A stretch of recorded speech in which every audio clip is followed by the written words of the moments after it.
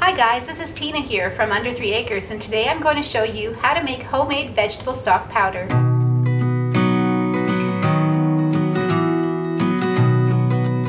The homemade vegetable stock powder that I'm going to show you how to make is really simple, it's really healthy compared to store-bought and the reason we started making this ourselves is because of a lot of the allergens. There are no nightshades in this it's all the things that we love to eat and we're going to, I'm going to show you how to do this for your own family. It's really simple.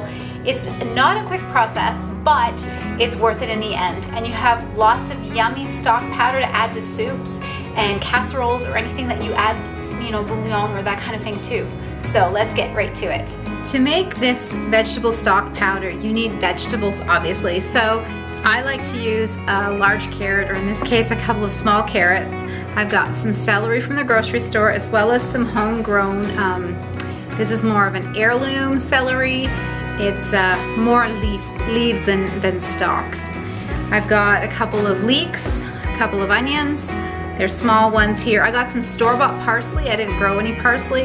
I've got some homegrown marjoram and some, looks like there's some fuzz in here, and some rosemary, and I have some Swiss chard. You could add other herbs. Cat got all my thyme, or I'd have thyme in here.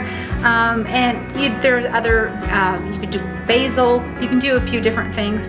But the idea is to cut up all, the, we're gonna cut up all these veg, um, put them in the food processor, grind them up really small, and then I'm gonna show you what to do next. So the next thing we're going to do is we're going to weigh how much of the vegetables we have because we need to know how much they weigh so we know how much salt to add. So I've been, I've ground up uh, my vegetables in the food processor. I'm gonna add them to the bowl and then we're gonna figure out how much salt we need to add.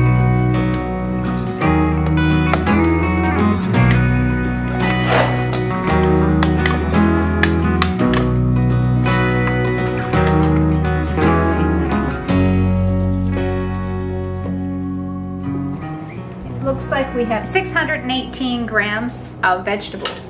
And so we'll, oh, I got a little bit more on the spoon here. Let me just see. 622 grams. Now I need to do some math. So what we need is 20% of 622. That's what we need in salt. 124.4 grams of salt. So we're gonna add about 125 grams of salt to this. I'm going to get a pot pot. I'm gonna put this into the pot.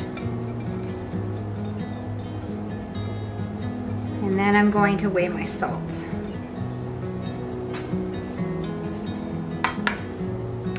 A bit of a mess here. So we're gonna put that back to zero. There we go. Now I'm just using the pink Himalayan salt from Kirkland. We need about 124, 125 grams.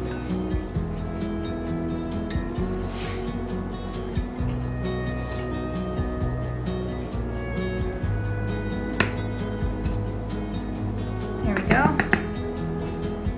So now I'm going to add my salt to my vegetable mixture. Get a spoon, just gonna stir this in. Now I'm going to put this on the stove in a second here and we want to simmer this. We want to cook all of the liquid out of the vegetables. It's going to take about two hours approximately. Like I said, it was going to be a quick process. It was going to be a, uh, you know, it's a bit of a process, but it's going to be worth it. If you could smell this, mm, it smells so good. It smells so fresh. Okay, so I'm going to get this on the stove here. So we're gonna turn this on nice and low and we're gonna cook it slowly for a couple of hours until all the liquid is out of it. When you first start cooking your powder here, it's gonna have lots of bubbles. So we're gonna keep stirring that so it doesn't stick and it doesn't burn. But that's just the water coming out of vegetables and like it's not dehydrating, but it's evaporating. We're gonna dehydrate this afterwards. So it's been about an hour now and you can see it's a lot drier. There's a lot less liquid. But we're gonna let this simmer for another hour. It's going to come back again. So the lighting's really bad right now, I'm sorry, and we're it's a mess everywhere. We just finished supper. The broth here is mostly dry. So now what you're gonna do if you make this is, get my oven mitts, my pot's kind of hot. Okay. I'm gonna show you here. So it's pretty dry, stuck to the bottom of my pot. I'm just gonna put this now on a piece of parchment paper on a baking sheet. The pot is still a little bit hot. So it's pretty dry. But now I'm going to spread it out on a piece of parchment paper and I'm going to put it in the oven to bake for another hour and 15 minutes to an hour and a half. And hopefully by then it'll be completely dry. So I'm just gonna spread this out. And every so often I'm gonna go in and stir it up a bit.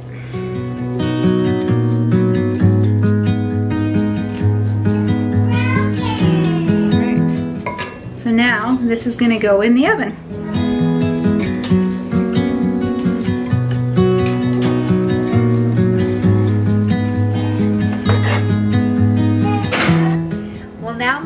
Vegetable stock powder has been in the oven for about an hour and 10 minutes. I took it out a little early. It can stay in for around 75 to 90 minutes, but I felt it was done after about 70, so I took it out. I'll show you a picture of it here. So as you can see and you can hear, it's quite dry and that's what it needs to be. It needs to be dry. And then I'm going to put this in the food processor and grind it up into a powder thank you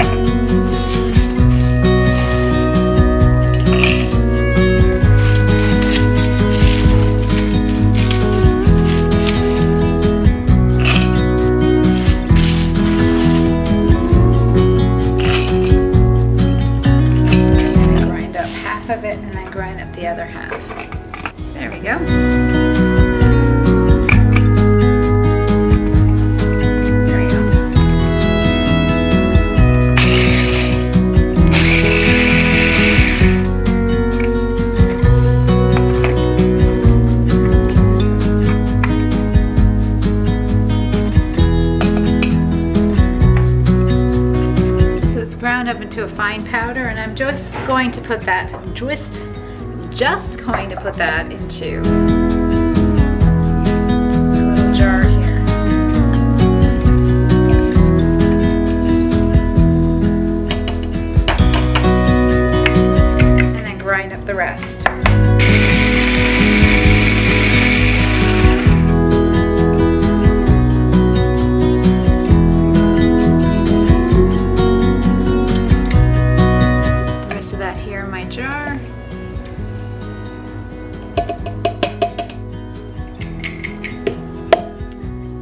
go. That's all there is to it.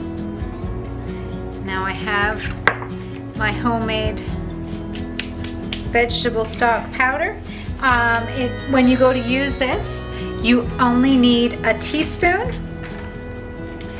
per liter or per quart, I guess, if you're, it's pretty close. So this is just a little Fido jar here, and it says Fido on the top. The blue has come off, but yeah, that's where I keep my bouillon. And yeah, this will hold, keep for up to three months in an airtight jar like this. Well, I hope today's video inspired you to make some of your own homemade vegetable stock powder. I'll leave the recipe down below, and if you give it a try, be sure to let me know. Let me know what you think of it. And we'll see you in the next video. Bye.